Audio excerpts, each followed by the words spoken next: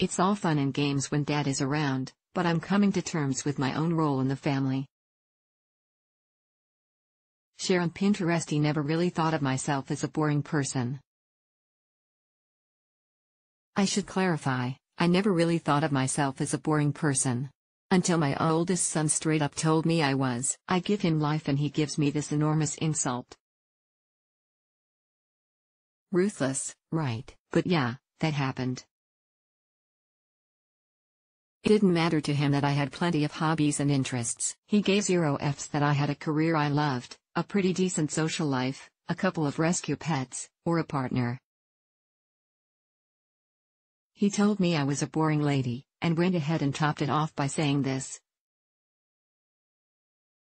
And I quote, You're nowhere near as fun as daddy is. Well, then. There it was. This tiny dictator didn't even know how to wipe his own bum, but was comfortable with swiftly casting me into the perma role of the unfun parent. Okay.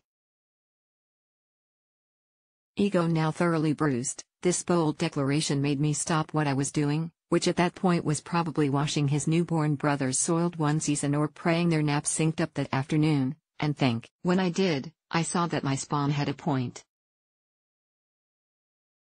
While I share many responsibilities with his dad, much of the general caretaking, laundry and dish doing, appointment keeping, maintenance work falls to me. Call it motherhood. Call it gender roles. Call it the fact that I'm a highly anxious person who's a bit of a control freak. Whatever the reason, it's dad who gets to be the designated good time guy. At first, that bothered me. A lot. It's certainly not how I imagined things when I was pregnant. As a mom to be, I pictured as many joyful playground trips, zoo outings, and Lego building competitions as the next parent. Oh, the places we'd go. The only problem was I hadn't left any room in my daydreams for the routine tasks that come along with parenthood.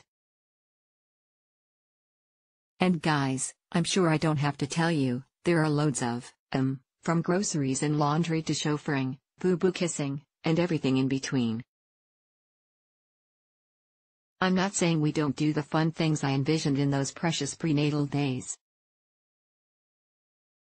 I'm just saying it's not all roses all the time, and I'm not talking about the dirty diapers here, people. The UN fun stuff, the upkeep, the work that keeps the ship sailing, that stuff takes precedence, and it always will. It ain't stoppin' anytime soon, so you come to accept that it gets in the way of time you want to be enjoying with your cherubs. But you know what else it does? It makes the fun times that much sweeter, and it makes you find fun in simple, everyday places or routines. Don't get me wrong, on the road to coming to terms with being the UN fun one, I definitely got a bit defensive. How could I get a bad rap for not having a constant stream of exciting activities scheduled for my kids, amongst the myriad things that need doing to keep them around as living, functional little society members? Stuff needs doing, and the fun parent is a title their dad can have if he's got the energy, time, and interest in doing so. I'm so glad he does. Because they deserve all the happiness one childhood can handle, and as cliche as the saying is, it truly takes a village. As I've come to see it, it's my job to keep on top of keeping my kids healthy and on track. They love dad's video game tournaments and trips to the trampoline park. I don't blame them. I love it when we do those things, too. But someday, hopefully, they'll also appreciate having a full set of teeth that haven't rotted out, or having learned to swim. I'm their mom, not their in-home entertainment system.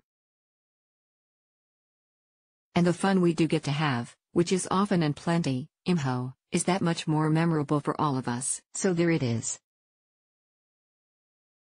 If you're anything like me, your kids don't think you're fun enough. I say go ahead and embrace your royal boredom, because you know what? You're the glue.